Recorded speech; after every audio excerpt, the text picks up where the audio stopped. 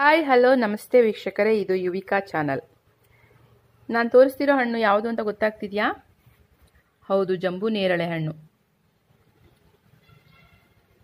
ನೋಡಿ, ಎಷ್ಟು ಚೆನ್ನಾಗಿದೆ ನೋಡೋಕ್ಕೆ ಚೆನ್ನಾಗಿದೆ. ಇದು ತಿಂದರೂ ಕೂಡ ಅಷ್ಟೇ ಆರೋಗ್ಯ ಚೆನ್ನಾಗಿರುತ್ತೆ.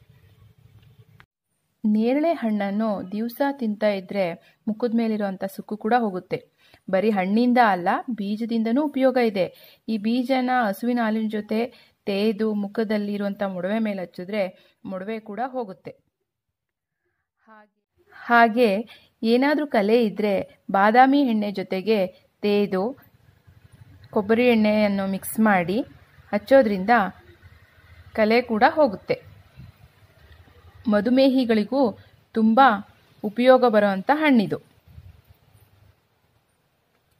ಹಾಗೂ ರಕ್ತದೊತ್ತಡ ಕೂಡ ಕಡಿಮೆ ಮಾಡುತ್ತೆ. ಇಷ್ಟೊಂದು ಉಪಯೋಗ ಇರೋ ಹಣ್ಣನ್ನು ನಾವು ಯಾಕೆ ತಿನ್ನಬಾರ್ದು ಅಲ್ವಾ? ಈ ವಿಡಿಯೋ ನಿಮಗೆ ಇಷ್ಟ ಆಗಿದ್ರೆ ದಯವಿಟ್ಟು ಕಮೆಂಟ್ ಮಾಡಿ, ಲೈಕ್ ಮಾಡಿ, ಶೇರ್ ಮಾಡಿ. ಇನ್ನೂ ಸಬ್ಸ್ಕ್ರೈಬ್ ಆಗಿಲ್ಲ ಅಂದರೆ ನಮ್ಮ ಚಾನಲ್ಗೆ ಸಬ್ಸ್ಕ್ರೈಬ್ ಆಗಿ. ಧನ್ಯವಾದಗಳು.